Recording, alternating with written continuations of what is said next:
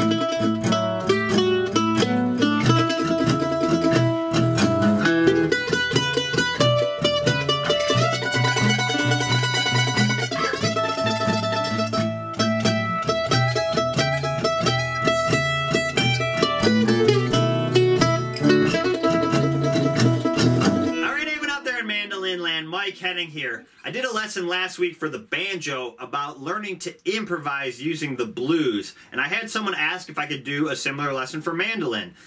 Improv is one of the best things you can do to develop your playing, your musicality. It's one of the most fun things you can do. I think playing music is getting off the page, just playing along with the song, even if you don't know exactly what you're going to play. It can be really fun, and it's a great way to build up your musical confidence to get you off the page, you know, so you're not always having to read a tab or, or read sheet music to play a song. And that can be really important. So we're going to use a basic 12 bar blues in the key of E for this song. I'm going to break down how to play the chords, and then I'm going to show you a couple different improv techniques you can use. We're going to start kind of with the safest way to play using only the chord tones, which are the notes that make up the chords. And then we're going to expand out using kind of a minor pentatonic scale, and then finally get the most outside you know, out, out, outside of the scale using the minor blues scale, which is going to use some notes outside of the scale. And then the last thing we're going to do for this lesson is just kind of a fun exercise and it's just a way to build up your confidence. I'm going to show you some notes that sound really bad, okay? And we're going to play them along with the practice track. And part of what I want to practice for this lesson is kind of just gritting through the pain of playing a bad note and also some techniques if you hit a bad note, what to do. And really what I want you to practice is kind of embracing making a little mistake like that and then adjusting your hand and and continuing the song and not completely stopping every time you make a mistake. And that's really valuable and it's a really great way to build up your musical confidence. So if you find yourself in a new musical situation, you can play along and even if it doesn't sound perfect at first, you, you, have a, a basically a baseline to start with that you can improve upon later. All right, let's start breaking down this learning to improvise using the blues lesson in the key of E. All right, let's start breaking down this lesson about learning to improvise using the blues. So let's start by getting the chords down because it's important to know the chords so you know what notes you're playing on top of those chords. Because if you don't know the chords that you're playing on top of, it, it'll be definitely harder to create a, a meaningful improvisation. So let's start by getting the chords down. I'll show you two ways to do the chords. So kind of how I would do it is I'm going to do my first finger. So our first chord is E. We're in the key of E, and we're doing a classic 12 bar blues. So the E I like to do is I'm going to put my first finger on the second fret of the D string. That's our E note. And then I'm going to put my second finger on the fourth fret of the G string, the low G string. And I'm just going to kind of play the bottom two strings. So that's kind of an E I like to do. You get you get that kind of low sound, which sounds nice. And then we have A7. So I'm going to go into my bar chord A. So I've got my first finger barring the second fret of the low two strings. I've got my third finger on the fourth fret of the A string. Normally my pinky would be up on this fifth fret. That'd be like a regular A, but we're gonna do an A7. So I'm gonna take my pinky off and I'm gonna put my second finger on the third fret of the high string. I'll also kind of drop my thumb down. So we have E for one measure, and then we're gonna go to A. So you kind of turn your hand for one measure, A. A7 rather, and then back to E. And then we have a quick E7, so two ways you can do this. Probably the way I would do it is put your pinky on the fifth fret of the A string. That's like an A or an E7, excuse me, E7. The other way you could do it, and I would only do this if I had a, like a full fuller band, is you could take off your first finger, and that would kind of give you like a, a two finger E7 chord. But that one on its own with, with no backup will sound a little bit weird. So that's why I'd probably do the pinky one. So you have E, let's break down those chords. We have E, A7, back to E, and then E7, and then A7 for two, back to E for two. And then B7, so that's the same as A7 except up two frets. So slide the whole thing up two frets. So that's B7. And then down to A7.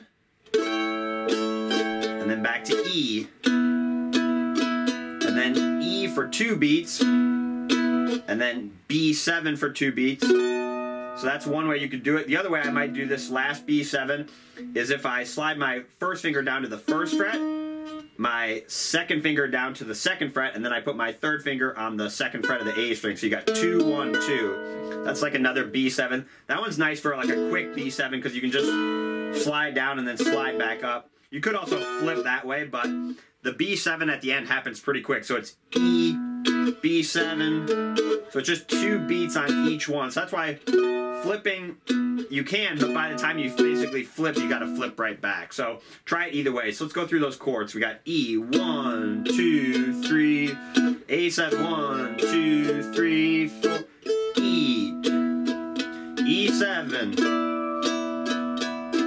A7 for two measures, two, two, three, four, E for two, two, two, three, four, B7, one, two, three, four, A7, one, two, four, one, two, three, four, one, two, three, four, and then you would be back to the top. So that'd be one easy way you could do it. Another way you could do it is up here. If I did my three finger E chord up here, so I've got nine, what is that, six and seven, nine, six, seven, uh, going from low to high. High E string is open, so I'm just going to play kind of the top, or the low three strings. So we have E here.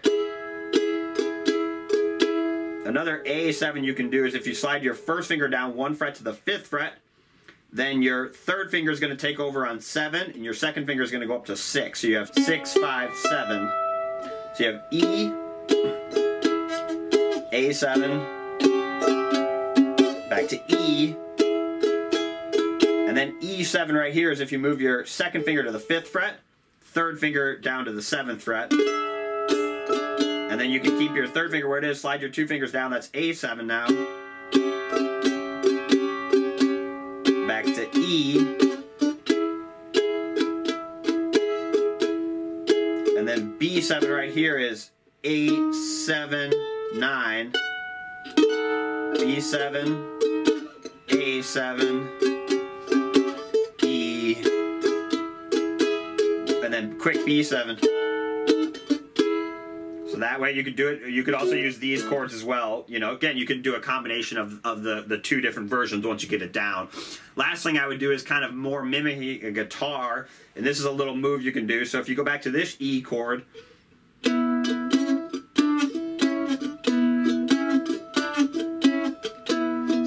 little shuffle thing. So I'm adding my third finger on the sixth fret and then my pinky on the seventh fret. I'm just doing a little rhythm. So I'm going four, six, seven, six, four, six, seven, six. And you can see I'm kind of taking off my first or second finger to give that a little relief. So that would be, that's just kind of like a little shuffle thing, almost mimicking a, a guitar you could do. So you'd have E, A, E, A,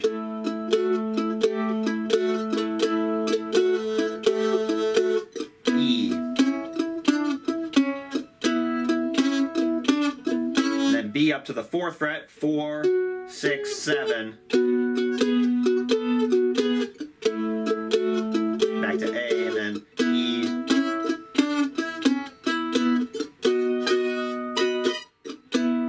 a couple options for rhythm you could do there. So you can pick any of those versions of rhythm, they'll all work. Or you, again, you could combine, you know, the different versions once you get it down. So let's look at some basic improvisation techniques you can do. And what we're going to do for this lesson is start with the safest, quote unquote, safest notes, the notes that'll be kind of the most in the scale that will sound the safest to start. And then we'll give you some kind of what are called color tones, so notes that are more outside of the scale. And the more outside of the scale you get, kind of the more quote unquote tension you'll hear. And that's what we're going to practice for this lesson. And, and the other thing we're going to practice for this lesson is just dipping your toe in the water. I think the hardest thing about learning to improvise is just starting. You know, if you look at the whole fretboard and you don't know where to start, it can be overwhelming. So let's start with some really safe notes and then we can expand out. And then the last thing we're going to do is just practice playing any notes we want. Because kind of in music, what I really like about music is there's all these rules that you should follow, but then there's a certain point where you just you kind of know the rules, and then once you know them, you can break them. So, kind of the last tool to improvising is just letting all the rules go and just playing whatever you want, and that takes practice and takes time to build up your confidence to do that. All right, so the safest notes we can use for each chord are called the chord tones. So they're notes of the scale that make up the chord. And we won't get too much into the music theory behind this in this lesson, but basically, there's three notes that make up a major chord. The one, three, and five notes of the scale. So if we played like a basic E major scale, one, two, three, four, five. So our one, three, and five notes are the notes that make up the E major chord, our first chord. So it makes sense when you think about it that the notes that make up the chord would be really safe notes to play over that chord. So that's usually my go-to is if I'm ever in doubt, play the chord tones. Those are going to be really safe notes that you can you'll feel really comfortable hanging out on those notes. So those notes for an E chord and you don't have to remember this, but it would be good practice, are E, G sharp, and B. So the 1, 3, and 5 of that scale. And then we have another high E. It starts over. So let's find those notes on the mandolin. So our, our lowest note we can do is the first fret on the low G string. That's a G sharp. We've got fourth fret on the G string, that's a B note. And then we're going to move up. We got second fret on the D, that's our E. So I'm just giving you all the a couple possible options. You know, you don't always have to start with the root note as well. And then we've got sixth fret on the D string. We've got second fret on the A string. Either seventh fret on the A or high E string, same note if you're in tune, hopefully. And then we've got fourth fret and seventh fret on the high E. And then just a couple more. We can also play up out of this shape. The other thing with chord tones is that's where your chords are created. So again, we have our chord tone here. So we got nine, six. We got one more note, ninth fret on the D string. That's our, and then seven. We could also play up here seven, uh, 11 on the A string, seven on the high E, and then 12. So just practice those notes. You know, you can mix them up. Don't worry too much about what you're doing with your right hand at first. You could do down up picks. You could do tremolo. The other thing I might do with all blues songs is like a lot of down strokes. So don't worry too much about at first what you're doing with your right hand. We just want to hear how those different notes sound. Okay? For our A7 chord, we're actually going to have four notes that build up that chord because the seven means the flatted seventh note. So we're going to take the normal three notes that make up an A chord, one, three, and five, and then we're going to add the flatted seventh tone. That's how we get our A7. So it's basically the same shape as that E chord, except we're going to start on the low string. So we got second fret on the lowest string, that's our A note. Then we've got sixth fret, that's our C sharp. We've got second fret, that's our E note. And then we've got fifth fret.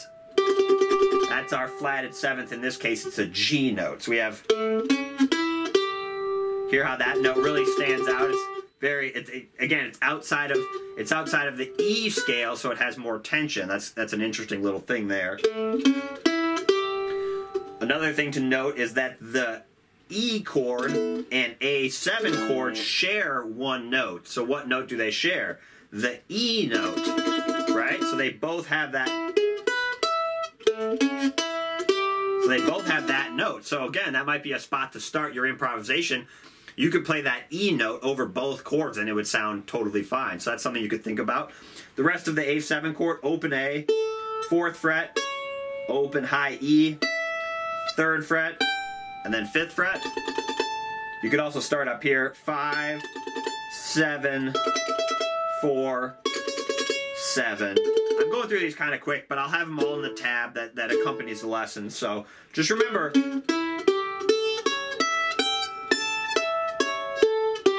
And I'm not showing you all the notes possible to do each of these chord tones, but just some to get you started. I don't want you to feel overwhelmed.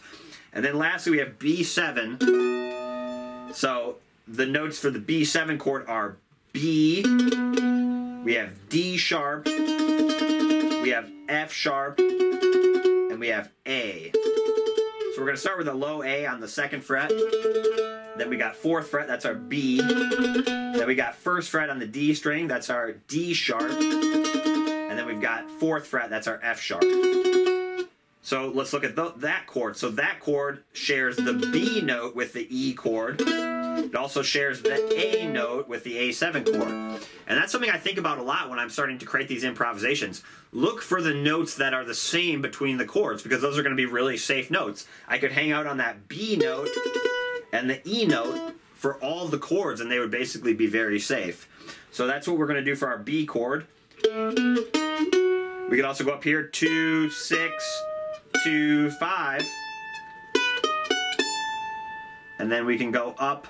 We could also do it up here. Um, we'd have nine, six, nine, five, and then seven. We could also go way up here if we wanted to. 9, 13, what is that, 9, 12, and 14.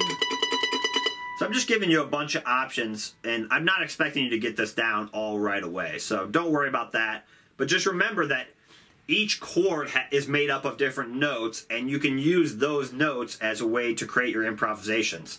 So let's start by, let me pop on the practice track, and let me start by doing some improvisations using just those chord tones so you can hear how safe the notes are. All right, so let's pop on that practice track. Here we go. This is the intro. Here comes B. Chord tones E.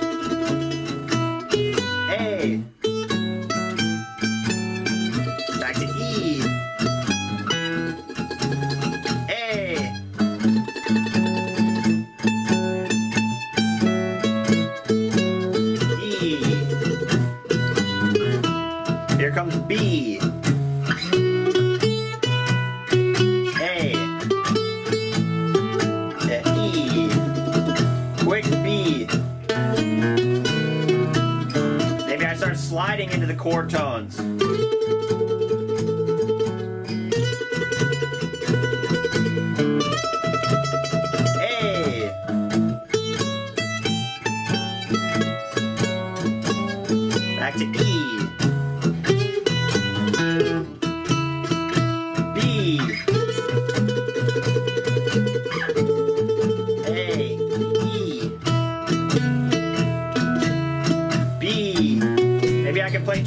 Once. That's called a double stop.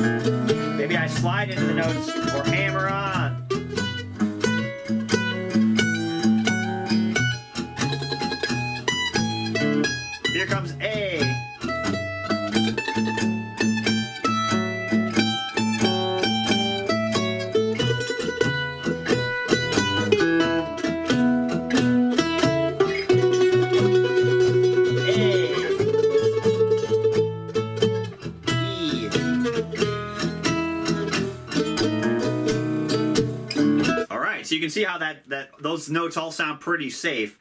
And really what I want you to practice here is just start with something. You're not going to necessarily come up with an amazing idea right off the bat, and you have to throw a lot of stuff at the walls. That's really what I want you to practice is play something. And what I'd really encourage you for this lesson is be the player, not the critic. Okay, so you can't be the player and the critic at the same time when you're when you're learning to improvise. You know, if, if you're too critical, you're never going to start. So what I really would encourage you to do. Be the player. Let the let someone else be the critic to start. You can be more, become more critical as time goes on. But what I want you to practice is don't let your your critiques of what you're coming up with impede your ability to be creative because you have to start somewhere and you need some kind of baby steps to start. So start with the chord tones, they're all really safe notes.